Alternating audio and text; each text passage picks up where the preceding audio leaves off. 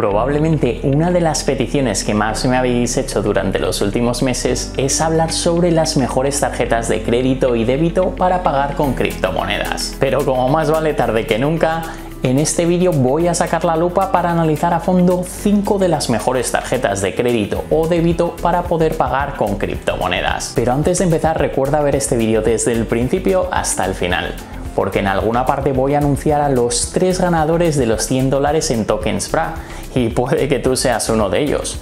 Y tampoco te olvides, como no, de destrozar el botón me gusta para apoyar al canal y para que nuestra comunidad pueda seguir creciendo. Bienvenidos a todos un día más a Healthy Pockets. Por si no me conoces, mi nombre es Hugo y mi objetivo en este canal es ayudarte con tus finanzas personales para que puedas ahorrar e invertir más dinero cada mes por lo que si te interesa también aprender más sobre criptomonedas, considera suscribirte al canal y activar las notificaciones.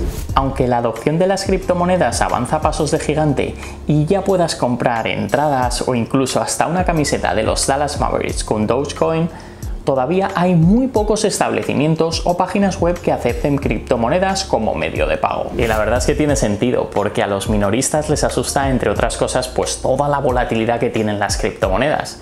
Pero bueno, sin embargo, como solución temporal a este problema, la mayoría de los grandes exchanges y plataformas de inversión o ahorro en criptomonedas están sacando tarjetas de débito y crédito de criptomonedas. No obstante, quiero puntualizar que yo personalmente no uso estas tarjetas porque invierto a largo plazo y no quiero gastar mis Bitcoin, Ethereum, Cardano, etcétera, etcétera, para compras del día a día.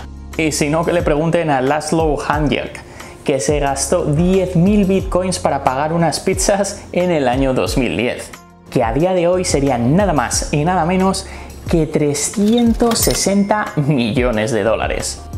La primera tarjeta de débito de la que vamos a hablar hoy es la Visa Debit de Binance. En septiembre del año pasado, Binance, el mayor exchange de criptomonedas del mundo, lanzó la Binance Card. Y tal y como nos dicen en su página web, la tarjeta de prepago de Binance te permite pagar con tus criptomonedas favoritas en más de 60 millones de establecimientos comerciales alrededor del mundo. Un segundo, Hugo. ¿Qué quiere decir eso de tarjeta prepago? Pues muy sencillo. Es una tarjeta en la cual añadimos fondos que luego podemos gastar en nuestras compras. Y funciona de una manera súper fácil, ya que vamos a tener una wallet específica llamada Car Wallet para poder depositar los fondos que queramos usar para comprar con nuestra tarjeta y vamos a poder transferir desde nuestra billetera Spot una gran variedad de criptomonedas como Binance Coin, Bitcoin, Ethereum, Binance USD, etcétera, etcétera. Dentro de todas las ventajas que nos ofrece esta tarjeta, destacaría que cobran cero comisiones al mes o al año por tener o usar la tarjeta. Aunque sin embargo hay que tener en cuenta que se siguen aplicando las comisiones de compra-venta, ya que, por ejemplo, si tienes Bitcoin en tu tarjeta prepago pero estás pagando en euros, Binance te va a cobrar la comisión que aplica de cambio de BTC a euro, al igual que, por ejemplo, si hicieras el intercambio dentro del exchange. También me gustaría destacar que los fondos están protegidos por los mayores estándares de seguridad que proporciona Binance, lo que da bastante tranquilidad a los usuarios. Y por último, y por encima de todo, es que esta es una tarjeta que da hasta un 8% de cashback o lo que es lo mismo, te devuelven hasta un 8% en BNB en las compras que realices. Pero no te dan un 8% así sin más, sino que va a depender de la cantidad total de BNB que holdees en todas tus billeteras. Por lo que si tienes menos de 10 BNB, solo vas a tener un 1% de cashback. Y para tener el 8% necesitas tener un total de 6.000 BNB que en el momento de la grabación de este vídeo equivalen a nada más y nada menos que 2.382.000 dólares. Y aunque esta tarjeta está disponible prácticamente en toda Europa y en un total de 180 países, en Estados Unidos, Canadá o Australia, entre otros, todavía no se puede usar. Y para terminar, vamos a ver los límites de esta tarjeta. Y como puedes ver, no hay mínimos, pero sí hay un máximo diario de 8.700 euros en compras y 290 euros para sacar en los cajeros. La segunda tarjeta, o mejor dicho, tarjetas de débito, son las de Crypto.com. Crypto.com nos ofrece una gran variedad de tarjetas de débito Visa que son una gran alternativa para todos los usuarios que les encanta obtener distintos tipos de recompensas. Y es que las tarjetas de crypto.com ofrecen cashback de hasta el 8%, además de reembolsos del 100% en servicios de suscripción de Amazon Prime, Spotify y Netflix, además de también descuentos en Airbnb o Expedia pero bueno, eso sí, dependiendo de la cantidad de tokens CRO que tengas en staking. Tal y como puedes ver, las tarjetas tienen distintos colores según el cashback que nos ofrecen y la cantidad de CRO que tenemos que tener en staking. La tarjeta básica es el Midnight Blue, que solo nos da un 1% de cashback. Pero bueno, al menos no necesitamos tener CRO en staking. Después, para tener la roja, necesitamos tener 400 dólares en staking a cambio de un 2% de cashback. La verde y morada sube a 4.000 dólares a cambio de tener un 3%. La rosa y plateada nada más y nada menos que a 40.000 dólares en CRO a cambio de un 5% de cashback. Y por último, si es que queremos tener la tarjeta Obsidian, para conseguir así un 8% de cashback, necesitamos la friolera de 400.000 dólares en staking. ¿Y qué hay del resto de beneficios, Hugo? Pues tal y como puedes ver, si tenemos la roja tenemos Spotify Premium gratis y con la verde y morada también Netflix. Pero para el resto de beneficios tendríamos que tener una cantidad desorbitada de CRO en staking.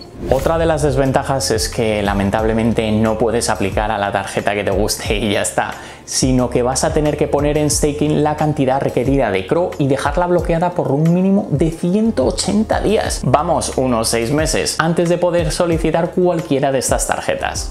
En cuanto a los fees y los límites, las tarjetas de CRO cobran tan solo un 0.5% por intercambio de cripto a fiat. El límite de gasto diario es de 10.000 dólares y por último, los límites para retirar de un cajero de manera gratuita varían entre los 200 dólares y los 1000 dólares diarios, y a partir de ahí ya nos cobrarían un 2%. La tercera tarjeta de débito de la que vamos a hablar hoy es la Visa Debit de Coinbase. Coinbase, otro de los exchanges más grandes de criptomonedas, también nos ofrece una tarjeta de prepago o débito. Y dentro de las grandes ventajas que destacaría de esta tarjeta es su facilidad de uso a través de la app, ya que te permite conectarla directamente con tus wallets de Coinbase.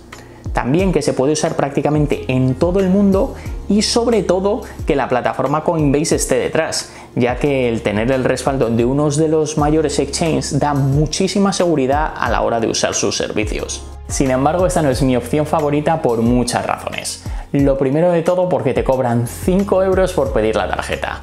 También que vamos a tener que pagar los altos fees de intercambio que tiene Coinbase, que creo que rondan el 2.5%, además de los fees que añaden por hacer pagos fuera de tu país. Y lo mismo que pasaba con la tarjeta de Binance, tampoco está disponible por el momento en Canadá o Estados Unidos, aunque dicen que va a llegar a lo largo de 2021, tal y como aparece en su web que dice Coming Soon.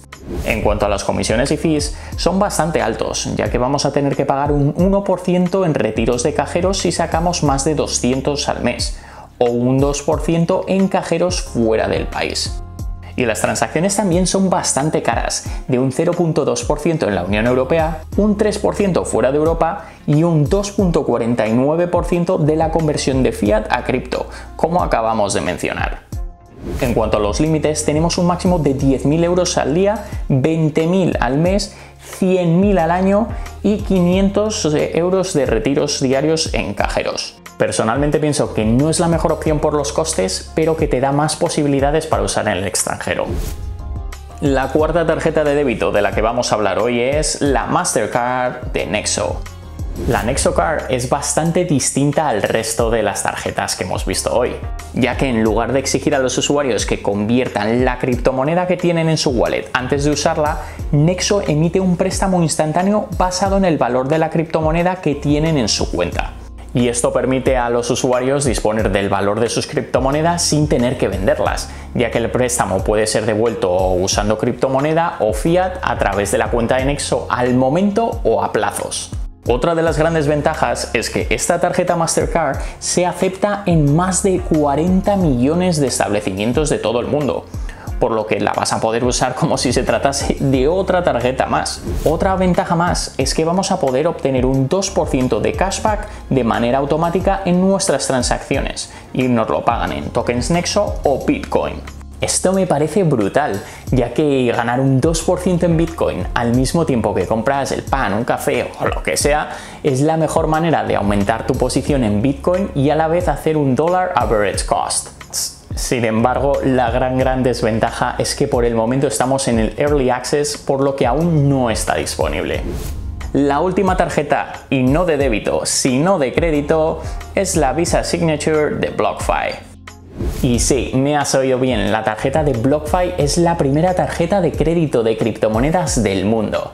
Y aunque por el momento no está disponible, si te encuentras en los Estados Unidos puedes unirte a la lista de espera y cruzar los dedos para ver si eres uno de los primeros afortunados en recibirla. Y tal y como puedes ver de manera muy resumida, todas las ventajas que nos ofrecen son un 1 por 5% de cashback en Bitcoin con todas nuestras compras, 2% si gastas más de 50.000 al año y un 3.5% durante los tres primeros meses desde que actives tu tarjeta. Y lo mejor de todo es que no te cobran comisiones de mantenimiento o transacciones, ya sean nacionales o internacionales. Pero bueno, de todas formas, si quieres leer un poquito más del tema o quieres conseguir hasta 250 dólares en Bitcoin, dependiendo de la cantidad que deposites, te dejo como siempre un enlace en la descripción ha llegado el momento de anunciar a los tres ganadores del sorteo de Veracity. Y damos la enhorabuena a Javier L, Akira100Y y IM-Ruzas. En el caso de no responder ninguno de los ganadores en 24 horas, iremos pasando al resto de suplentes. Y nada, muchas gracias a todos por participar y recuerda seguirme en Twitter, que seguimos con la celebración de los 200.000 suscriptores y se vienen más sorteos muy pronto. Pues esto es todo por hoy, muchísimas gracias por haberme acompañado hasta el final. Espero que te haya gustado este vídeo sobre las tarjetas de crédito y débito de criptomonedas. Pero si tienes cualquier tipo de pregunta, duda, sugerencia o quieres que analice alguna de estas tarjetas mucho más a fondo, puedes escribirme como siempre en los comentarios. Recuerda también, como no, destrozar el botón me gusta, suscribirte y activar las notificaciones si es que aún no lo has hecho.